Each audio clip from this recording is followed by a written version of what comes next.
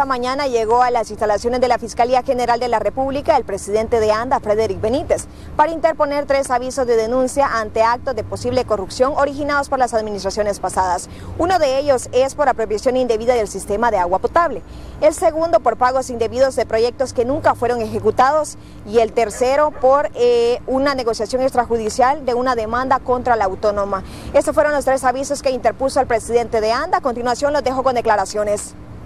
Fueron en las administraciones anteriores, ¿verdad? Esto viene ya desde hace bastante tiempo para acá.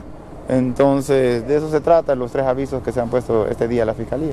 Ya el monto de la usurpación podríamos decir que ronda más de 8 millones, 10 millones de dólares solo en la usurpación, perdón.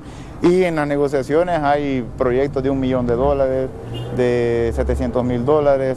Él también mencionó que podrían existir más irregularidad dentro de la autónoma. Es por esta razón que continuarán con más auditorías.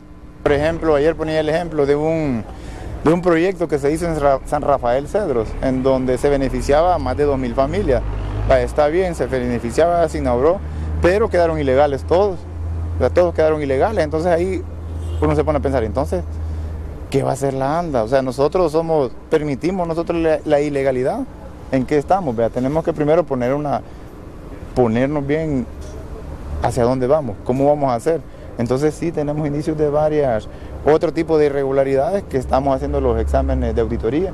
Ante la falta de agua potable en diferentes municipios de San Salvador, el presidente dijo que están haciendo lo posible para poder solucionar este problema.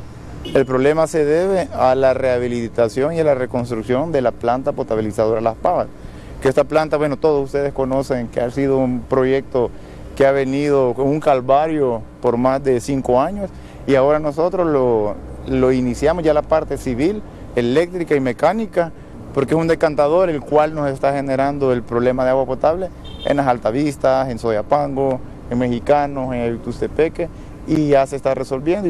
Ante estas denuncias interpuestas, las autoridades de ANDA esperan que la Fiscalía General de la República pueda investigar y de esta manera solucionar el problema.